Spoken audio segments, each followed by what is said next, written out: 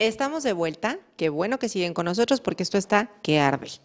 Seguimos con las preguntas, Paloma. Tengo una pregunta. El tema de la homosexualidad ahora ya está de nuevo muy encriptado. Antes este, era muy normal, bueno, antes este, decimos en la antigua En la Grecia, era muy natural que los hombres tuvieran, los grandes filósofos muchos eran ni siquiera creo que estaba el término homosexual, ¿no? Era como una cosa muy natural de que Era podían tener amantes eh, hombres y amantes mujeres y su esposa igual las mujeres, había este, situaciones lésbicas que en verdad se veía como muy natural. Ahora, si a un hombre le dicen este, estimulación anal, no ya, es que yo no soy gay. Sí, los hombres ahí te va lo que pasa. Muchos, este, bueno, en los talleres vemos mucho la pregunta esta de, híjole, es que yo quiero estimular este, analmente a mi marido, este, y bueno, luego, luego le agarro la pompa y empieza, oye, oye, espérate. Yo no soy, no sé, a mí no se no me- bateo por ahí. Yo no bateo por ahí, no me arranque el pecho, entonces, ¿sabes qué? A mí ni me le muevas ahí. Porque los hombres tienen culturalmente mucho miedo a su parte homosexual, a sus, a sus este, brotes sexual, eh, homosexuales, Claro, ¿no? O sea, claro. esta parte que todos tenemos. Que existen y son Que normales. existe, porque todos tenemos una, una parte homosexual, porque es la que nos permite tener contacto, por ejemplo, yo, este, mi parte homosexual me permite darte un abrazo, darte un beso, Claro. a mi hija darle un abrazo, a mi mamá darle un abrazo, esa es nuestra parte homosexual, y los hombres también la tienen, ¿sabes? Claro. Porque tenemos partes masculinas y partes femeninas. Eso no te hace una persona activamente sexualmente homosexual, con preferencias homosexuales en la cama. Entonces, ¿qué pasa? Todos tenemos esa parte. Y la estimulación anal, tanto en hombres como en mujeres, es muy placentera. El ano tiene muchas terminaciones nerviosas. Entonces, ¿qué pasa? Hay algo que se llama beso negro, que es la estimulación este, bucal este, con el ano. Entonces, ¿qué pasa? Tanto con hombres o como mujeres, hay mujeres que estimulan el ano de su pareja con un lubricante o así, hasta incluso pueden llegar a estimular la próstata por vía anal, porque la próstata está a unos 5 centímetros de, de la, del ano. Entonces, ¿qué pasa? Este, sí, incluso una eyaculación, Una eyaculación. con la, con la este, estimulación de la próstata. Entonces, ¿qué pasa? Oye, esto es muy interesante, ¿eh? Porque Sí, está muy interesante. la Perdón, la gente no sabe. Fálico. Anda muy fálica, sí, Sí, ¿no? ¿eh? muy fálica, totalmente. Este, la gente normalmente no sabe esto, ¿no? Sí, no, De no, no. cómo que, es- que en un hombre, igual que en una mujer, así como vemos el punto G en la mujer, Sí. en un hombre la estimulación de la próstata. Claro, es el punto P. Anal, que es el excepto si tienes hemorroides. El punto P, aclárale, ¿por qué El P? punto P, porque es el punto de la próstata, Ah, ¿sí? Por eso se llama No por punto otra cosa, P. no. Nada por más, no por nada más. No por- híjole, ¿Ok? no, es sugerente. No P por de cuatro próstata, P de próstata. No, de por cuatro letras. G. Oye, el punto G, ¿a qué se refiere la G? A Grafenberg, que es el, el, El el fue El descubridor. Ah, también. Tienen. ¿sí? Ok, perdón. Entonces, este, bueno, esta parte del punto P es la parte de la próstata. Entonces, muchos hombres, este, pues se asustan cuando su pareja anda curioseando por ahí atrás. Entonces, ¿qué pasa? Se asustan y luego, luego, Claro. este, hasta se fruncen. Se pegan en la pared. Como perro regañado, así. Entonces, ¿qué pasa? O sea, no, espérame. O sea, es una cuestión que no es una práctica homosexual, es una práctica de placer Claro. entre pareja. Bueno, y habrá que respetar, ¿no? Si el otro No, se no, frunce, bueno, no de, obviamente. ah, no, ahora No, no, espérate. No, no, no, ahora te esperas y te volteas y te chiflas. No. Es parte del diálogo de la pareja, es el- es parte del diálogo. Pero la uña postiza no, no, sin uñas, ¿eh, chicas? Por Sin favor, uñas, no. previo Ahí les encargo en aseo, o sea, sí. No, no, Sí, no, hay no, no. especificaciones. Yo, yo quiero hacerte una pregunta. Eh, no sé si es mito o realidad que el hombre sexualmente satisfecho con mm, relaciones sexuales en su pareja no se masturba. Eso es un mito totalmente. Tanto el hombre como, Como la la mujer, por teniendo el mejor sexo del mundo con su pareja, se masturba. Porque la- el autoerotismo es algo necesario. en Es el ser otro rollo totalmente. ¿Cómo es posible que tú le pides a tu pareja que te estimule si tú misma no sabes dónde, dónde estimularte? Claro. ¿Sabes? O sea, el hombre no tiene un clítoris. Tú te tienes que autoexplorar. Conocerte. Conocer y decirle, a ver, papito, andas, pero de veras cerrado. Yo te digo cómo. Es por acá.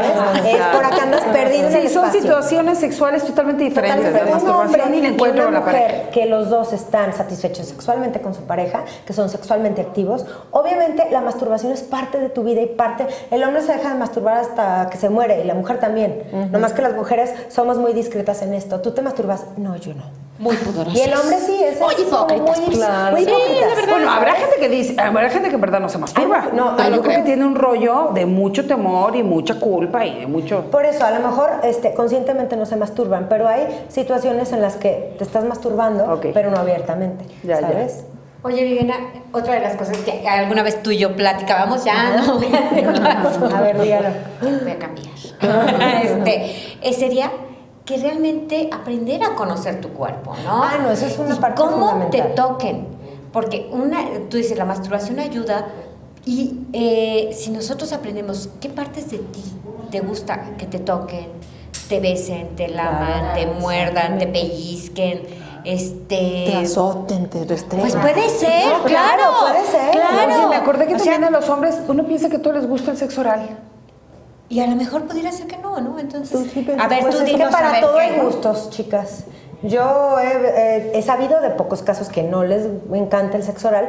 La mayoría, yo di- diría que al 80% les encanta. gusta muchísimo. pero hay un 20% que no, y es muy respetable y a lo mejor les gustan Claro. otras prácticas. Otro mito. Les gusta, o sea, definitivamente, pues otras, no sé, la estimulación, este, por ejemplo, el masaje. Hay mujeres y, el- y los hombres. Hoy en el taller de la mañana, este, platicábamos con las señoras eso, ¿no? O sea, cómo las mujeres nos centramos en darle placer al hombre solo, solamente en el pene. Nos olvidamos que Claro. existe el órgano más grande que tenemos es la piel. Entonces, ¿qué pasa? Muchas veces se nos olvida cuándo fue la última vez que le besaste a tu marido o a tu pareja las corvas. ¿y Es un lugar corvas? delicioso. Ah, estas. Y es un lugar esta sí. delicioso, ¿eh? No, es riquísimo. Delicioso. Sí, Sabe a chocolate, sabe a chocolate. Sí, muy. Es un lugar que vale la pena ir a explorar, claro. Muy O sea, el masaje en el cuero cabelludo, el masaje en las piernas, el masaje en el abdomen, el, mas- el masaje en la espalda, en las manos. O sea, no hay cosa más erótica que las manos. ¿Sabes? Porque es con la que te tocan. O sea, toda la sensibilidad de la yema de los dedos es impresionante. Entonces, ¿qué pasa? Pues una buena sesión este, de, de sexo con tu pareja empieza con un masaje. Definitivamente. ¿Por qué? Porque tenemos el cuerpo dormido. Se, se centra nada más en los órganos genitales y la sexualidad empieza desde aquí y termina en el dedo del pie. Porque todos somos sensuales, todos somos eróticos. Ay, aparte vuelves a reconocer la geografía de tu pareja, ¿no? Totalmente. Entonces, ay, qué parte, no me acordaba de Esto esta no te lo conocía. Exactamente. Y ese mito de eh, el hombre siempre va a saber cómo. Y el hombre va a iniciar, el hombre va a decirte, el hombre tú nomás alza las manitas. No, para nada. O sea, el hombre no, el hombre, chicas, no tiene clítoris y no tiene punto G. Claro. No tiene pezones, no, o sea, ¿sabes? O sea, de esta parte de los pechos de la mujer, que tiene mucho más sensibilidad. ¿Qué pasa? Pues obviamente nosotros culturalmente también pensamos que el hombre tiene que ser el activo y nosotros las pasivas. El hombre tiene que ser el proveedor en todos aspectos y la mujer Claro. la, la que recibe. No es cierto, esto ya se está cambiando. ¿Por qué? Porque el orgasmo es de quien lo trabaja. ¿sí? Entonces, tú eres por culpable favor, de, tu, de tu propio placer, no el otro. O sea, Claro. nosotros esperamos, somos unos muebles en la cama, nos, así como perrito que le, le haces cosquillas en la panza. El de ahí cuando así, acabes me tapas. Y que el otro haga todo. Sí, sí, sí, sí, ¿Y qué pasa? No es cierto. El hombre también tiene que ser estimulado, tiene que ser, o sea, ¿quién empieza el acto sexual muchas veces? Generalmente es el hombre. Realmente él es el que busca a la mujer, el que se acerca. Y tú como mujer también tienes que hacerle saber que lo deseas, que en el día estuviste pensando en él y en la noche dices, ahora sí, papacita. ahí Véngase te voy". acá, mi rey. Entonces, ese tipo de, de, de hacerle saber que tú lo deseas, despierta en el Qué hombre. bonito, sí, Está bien padre, porque hay sí. que desear a tu hombre. O sea, velo con ojos de deseo, de verdad. Y él va a sentir esa mirada de deseo. Porque todos, desde que estamos chicos, todos, todos en la vida, hacemos todo lo posible por ser mirados. ¿Sí? Mirados con deseo, desde, desde que estamos chiquitos. Tú ves un niño chiquito, mami, mira, ay, mira qué chistoso. Mami, mira, que lo mires, hombre. Claro. Y es lo mismo, con tu pareja es Decía, lo mismo. decía un niño que eh, cuando estaba chiquito decía, mírame. Sí, dime, no, mírame con los ojos. Exactamente, mírame con los ojos. Son espontáneos, esa es una Y por ejemplo, el, el sexo, o sea, a la hora del sexo, la mirada es tan importante como cuando tu mamá te miraba.